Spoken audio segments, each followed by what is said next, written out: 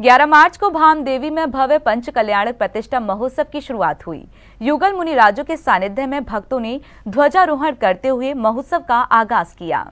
वाशिम स्थित भाम देवी में 11 मार्च से भव्य पंच कल्याणक प्रतिष्ठा महोत्सव का शुभारंभ हुआ। समाधिस्थ आचार्य श्री विद्यासागर जी महाराज, निर्यापक मुनि श्री योग सागर जी महाराज, निर्यापक मुनि श्री समता सागर जी महाराज सत्संग के मंगल आशीर्वाद से शुरू हुए। इस पंच कल्याणक में भक्तों को मुनि श्री दुर्लभ सागर जी महाराज और मुनि श्री संधान सागर जी महाराज सत्संग का सानिध्य मिल रहा है।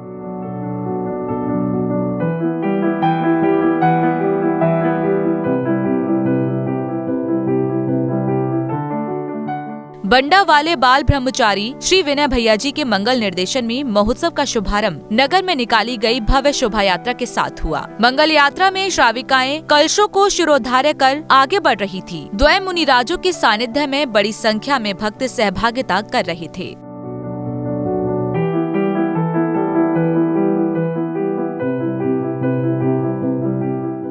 भव्य शोभा यात्रा के बाद सभी भक्त पुनः आयोजन स्थल आए, जहाँ विधि विधान से ध्वजारोहण की मांगलिक गतिविधियों को संपन्न किया गया।